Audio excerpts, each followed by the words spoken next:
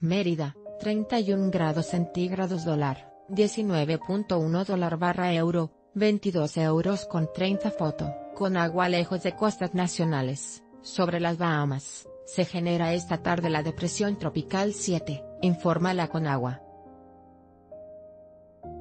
Este sistema se ubica a 995 kilómetros al este-noreste de las costas de Quintana Roo y se desplaza al oeste-noroeste a 24 kilómetros por hora. La depresión tropical 7 alcanzó sus vientos máximos sostenidos a 45 kilómetros por hora y registra rachas de hasta 65 kilómetros por hora. Por su ubicación y probable trayectoria no representa riesgo para la península de Yucatán aunque se recomienda estar al pendiente de los avisos oficiales. Back top.